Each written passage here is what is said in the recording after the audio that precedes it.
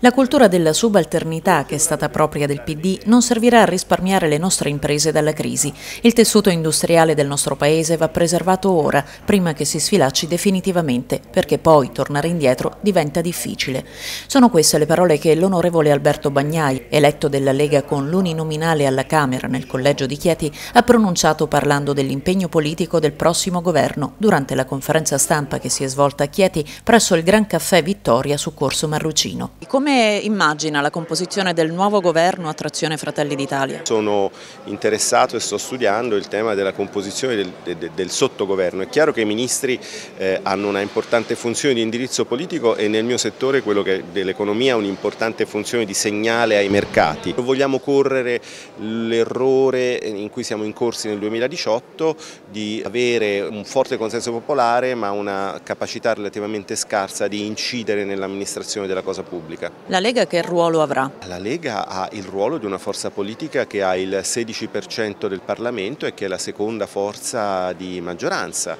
Avrà il ruolo di una forza politica che può vantare un'esperienza di governo, eh, fra l'altro anche acquistata a prezzo di una perdita di consenso e che si pone come punto ideale di mediazione fra le varie anime della maggioranza, esattamente come io qui sul territorio mi pongo come punto di mediazione, essendo il candidato di coalizione e considerandomi tale fra le varie anime del centrodestra. L'impegno politico dell'onorevole Bagnai per la provincia di Chieti, che l'ha voluto in Parlamento accordandogli la preferenza del voto durante l'ultima tornata elettorale, si traduce in una difesa del tessuto produttivo del territorio come quello della Val di Sangro, in un contesto di crisi internazionale che mette a rischio le imprese. Andare in Europa alla spicciolata diventa improduttivo per tutti i paesi e dunque basta l'atteggiamento di servilismo nei confronti di Bruxelles, aggiunge l'onorevole. Soprattutto le forze eh, che si richiamano eh, all'europeismo dovrebbero fare un'operazione molto semplice che è guardare quello che sta succedendo in Europa.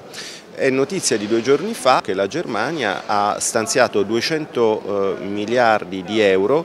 per eh, alleviare il costo delle bollette per famiglie ed imprese. È un intervento che la Germania ha fatto in autonomia senza concordarlo preventivamente, dal nostro punto di vista potrebbe anche configurare una grave violazione delle norme sugli aiuti di Stato e al quale bisogna ovviamente rispondere perché altrimenti lasceremo che altri paesi, la, prima potenza manifatturiera eh, europea, si avvantaggi eh, pesantemente sulla seconda che siamo noi e non dimentichiamo che in questa provincia noi abbiamo importanti eccellenze eccellenze manifatturiere che vanno tutelate a partire dal distretto della Val di Sangro, quindi la nostra ricetta è quella di intervenire il più rapidamente possibile, sapete che abbiamo proposto uno scostamento di eh, bilancio, cioè sostanzialmente di finanziare a debito oggi eh, un aiuto a famiglie e imprese per evitare di dover fare debito il triplo domani per pagare cassa integrazione o per compensare il mancato gettito delle imprese che dovessero fallire.